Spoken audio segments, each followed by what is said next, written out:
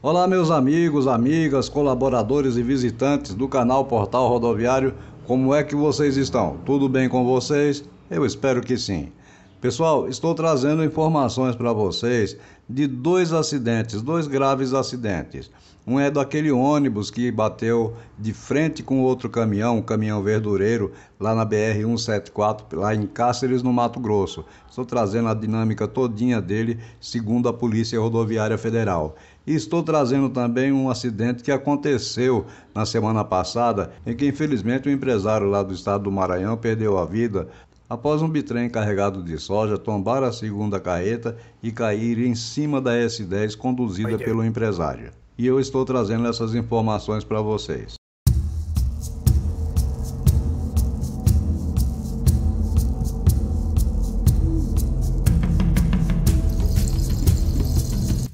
Pessoal, vamos falar daquele acidente que aconteceu na BR 174 onde infelizmente sete pessoas perderam a vida. Pois bem, a carreta que se envolveu no acidente teria invadido a pista contrária e colidido com o ônibus.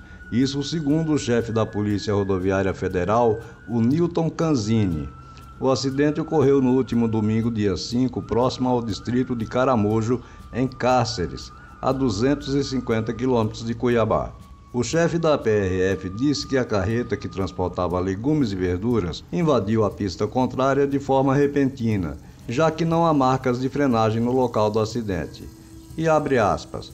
Ainda estamos averiguando o motivo por qual o motorista saiu de sua mão de direção e invadiu a pista contrária.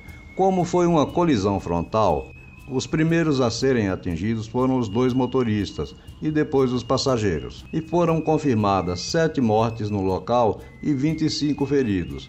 O chefe da PRF informou ainda que ainda há algumas vítimas em estado gravíssimo no hospital. E sobre a velocidade que os veículos imprimiam no momento do acidente, o chefe da PRF, Quinzani, disse que os dois veículos não excederam o limite de velocidade. E após a lavagem da pista pelo Corpo de Bombeiros, foram procurados marcas de frenagens ou algum sinal. Não foi encontrado e isso denota uma invasão repentina da carreta na pista. A PRF acredita que os danos do ônibus e da carreta foram maiores devido ao peso dos veículos.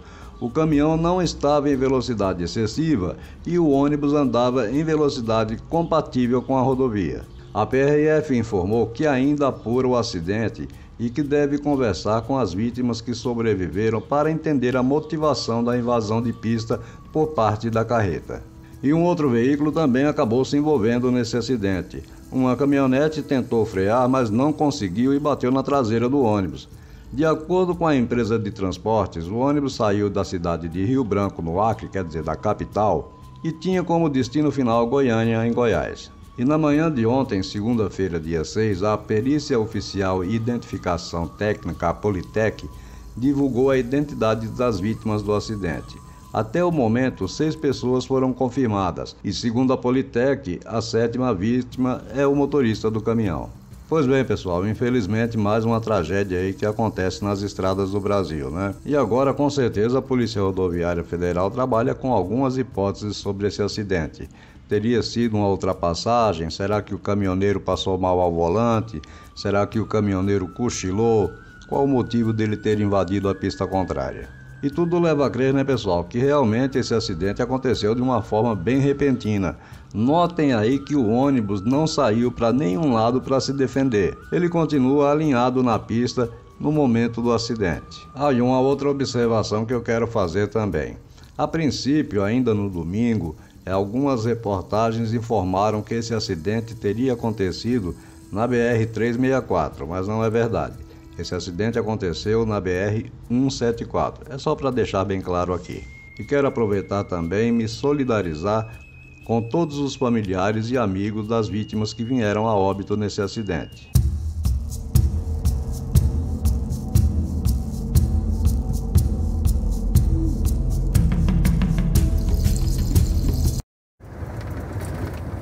Acidente aí, ó galera. Que todo cuidado é pouco, viu? Estreito na moleque aqui, viu?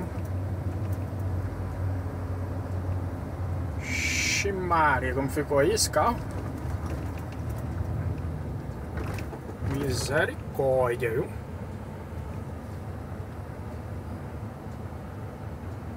O coleguinha aí desceu. A galera aqui só juntando, viu? Vendo aqui aparece tanta gente pra juntar.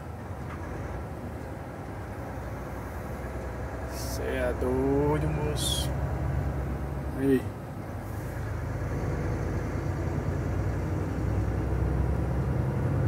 Outro coleguinha aí, ó.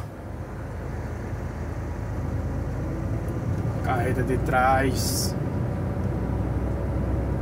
Vidal.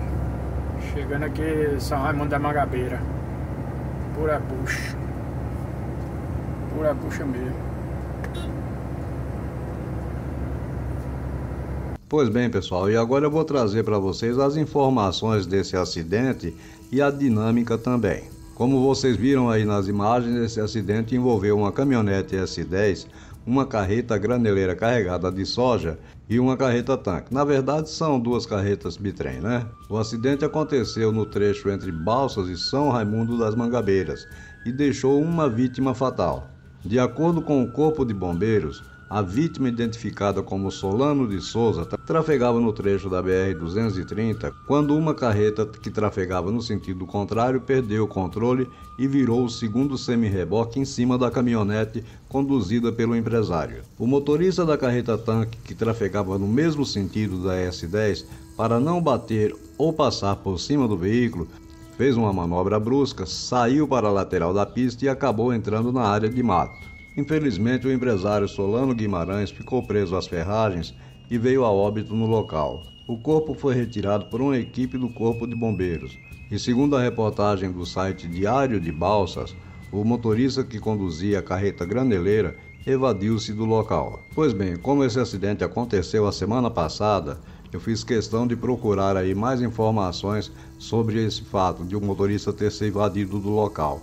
Infelizmente, a gente não encontrou nenhuma outra reportagem que falasse sobre esse assunto, mas dá para se deduzir que ele entrou em choque e evadiu do local com medo de represálias. Mas com certeza já deve ter se apresentado à autoridade policial para explicar as causas do acidente. Infelizmente, esse tipo de acidente de, da segunda carreta se desprender e tombar na pista está se tornando muito comum principalmente na região Nordeste, na região do Maranhão, do Piauí, na BR-174, na BR-135, em que as pistas são estreitas e tem muitos pontos com acostamento alto. Então, em qualquer descuido, se a segunda carreta, se o segundo implemento sair fora da pista de rolamento e pegar pelo menos um pneu fora da pista, acaba acontecendo esse tipo de acidente.